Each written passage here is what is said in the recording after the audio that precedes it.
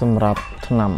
ដៅសធំល្ងុំល្ងាលនឹងធ្វើទុកក្តៅសធំសឹងសឡប់តាមក្បួនវិទ្យាសាស្ត្របុរាណខ្មែរយើងក្បួនថ្នាំខ្មែរកាយរោគរុនក្តៅនេះគឺយើងប្រើ